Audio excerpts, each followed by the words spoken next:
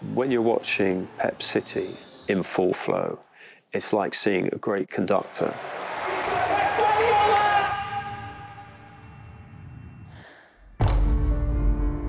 Just leading this orchestra through a crescendo.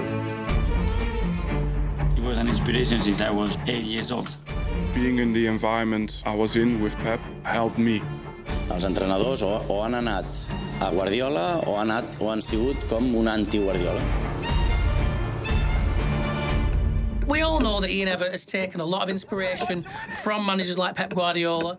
I think Pep is a real pioneer of the game. He's opened a lot of eyes to what stereotypical opinions of what English football would be about.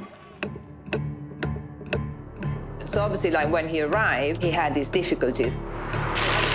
Would it help, do you think, to defend better if you kept to one shape, one system? Guardiola's got to get a grip. This is the English Premier League. You need to change what you do. In order to get results, would you sacrifice that? Impossible. It's impossible. And Aguero's been found, and the goalkeeper's come off his line, and Aguero goes for elevation and achieves perfection. There's real hunger inside you. I love this game. Guardiola indulged in the most joyous of fist pumps, as if to say, look, this philosophy works. Pep, you changed football. The influence of Pep has been immense. He changed the way we understand football. It just makes football look easy. Ik denk iedereen die met Pep heeft gewerkt, leert gewoon een andere filosofie van voetbal.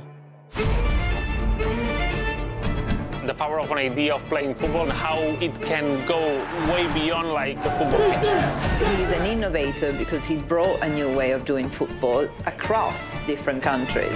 What we see obviously with Pep in some ways like the purest form of this possession football.